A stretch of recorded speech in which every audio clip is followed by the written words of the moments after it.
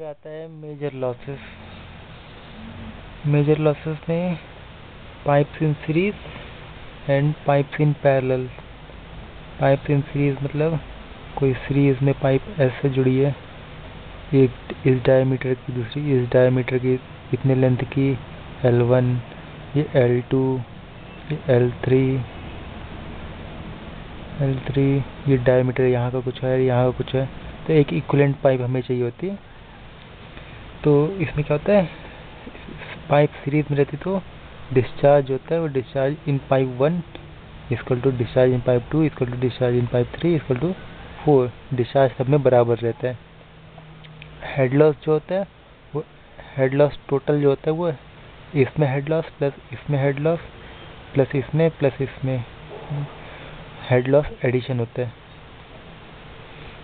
और pipe in series में head loss discharge होता है वो क्यू तो क्यू वन क्यू जो आता है equal to Q one plus Q two और भी एक होगी तो क्यू थ्री हो जाएगा। मतलब जितनी पैरेलल पाइप है, सबका in equal to out Q one equal to Q one plus Q two और हेड लॉस जो होगा H L one equal to H L two होगा। Head loss in one equal to head loss in two इसमें ये difference है। इसमें head loss क्या होगा एल बाई डी की power five L one by D two power five L one L two by D two two power five तो head loss equal to H L equal to क्या होता है?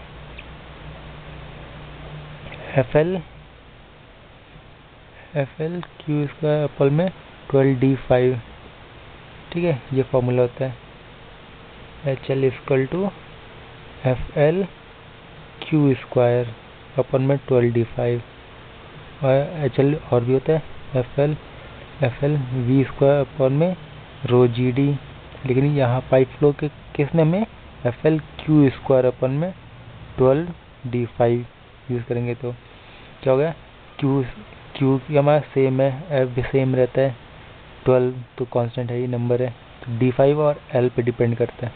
Equivalent length upon में D to power five L one by D one five plus L two by D two five plus L three ऐसे करके। और equation जब parallel में रहता है तो Q equal to Q one plus Q two Q जो होता है, वो अलग रहता है। बस यही डिफरेंस है।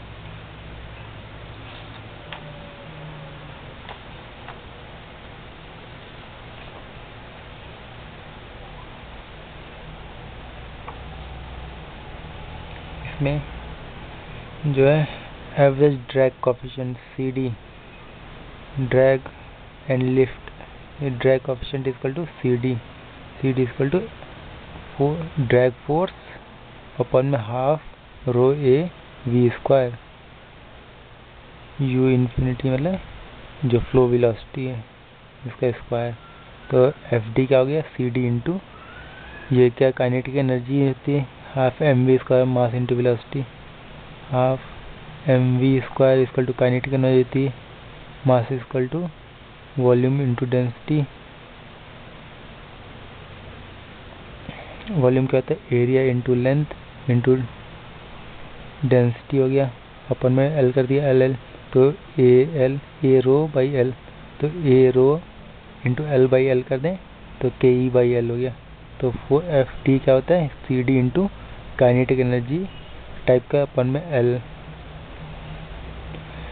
लोकल रेनॉल्ड नंबर और लोकल ड्रैग कॉफिशेंट या फिर local skin friction coefficient local Reynold number क्या था R E equal to rho stream velocity into X upon में म्यू एक्स जो डिस्टेंस दिया हो less than five into ten to five होता है लेमिनार के लिए.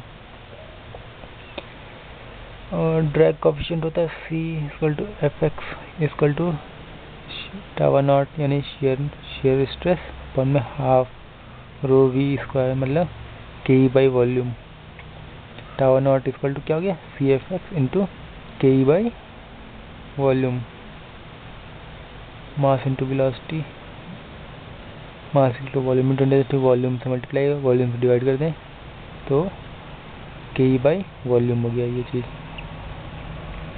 शेयर स्ट्रेस टावर नॉट ये वाला shear stress tau naught tau naught equal to three by two mu U infinity by delta और डेल्टा कैसे delta equal to four point six four X upon में R E X मतलब local Reynold number under root one by two हमने under root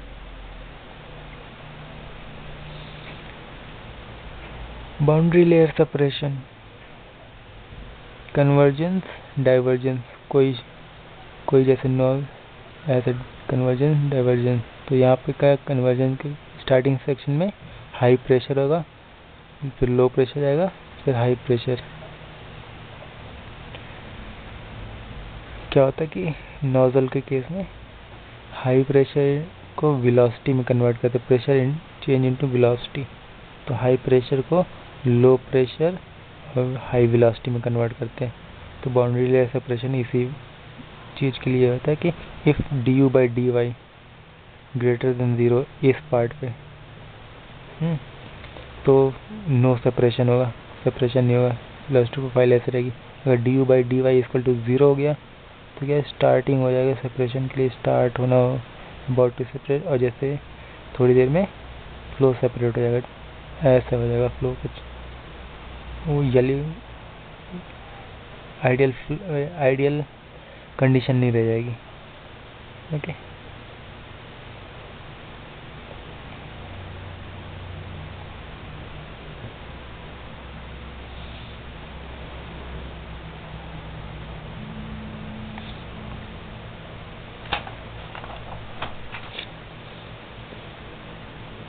pipe flow देखते हैं। Pipe flow की क्या equation है? जब डिस्चार्ज फॉर्म में, अगर क्यू की फॉर्म में करना है H L equal to F L Q square upon में ट्वेल्व डी फाइव और अगर वेलोसिटी फॉर्म में रखना है तो F L V square upon में ट्वेल्व डी फाइव ये बड़ा है friction factor twelve twelve D five या फिर F L V square upon में, ये rho G D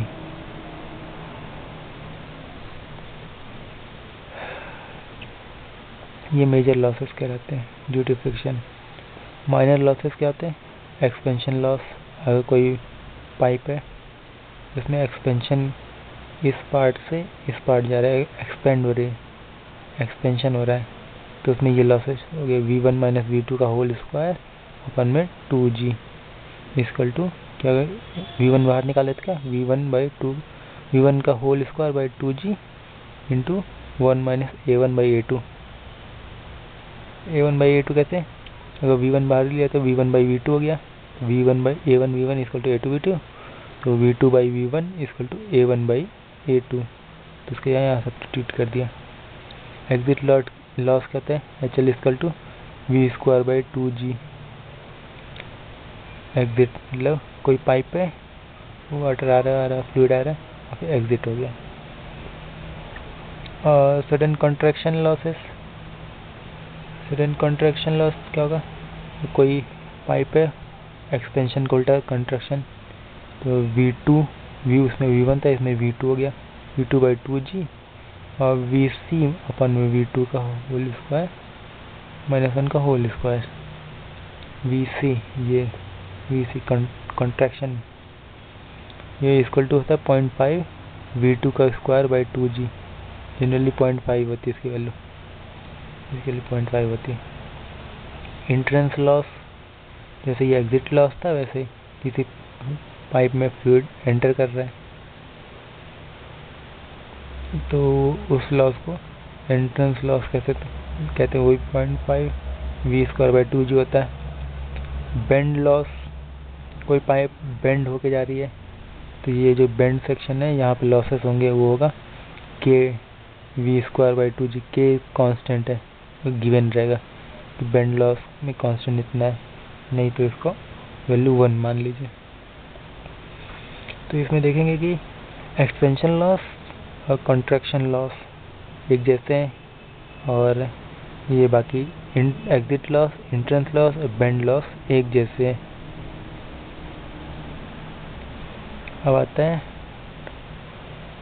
Thermal energy line T E L और एच जी एल ये भी पूछा जाता है कई बार हाइड्रोलिक ग्रेडियंट लाइन ये क्या होता है? P by rho G plus Z plus V by two G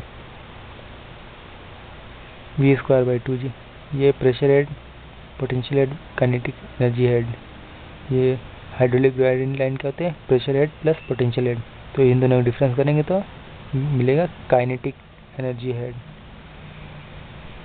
और इसमें क्या है एच जी एल में राइज और fall but T G L में rise only one external input is applied H G L जो हाइड्रोडाइनमिक वो increase कर सकता है डिक्रीज कर सकता है.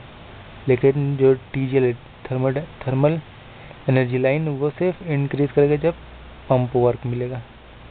अगर पंप वर्क नहीं है तो वो सिर्फ़ कांस्टेंट चलता रहेगा.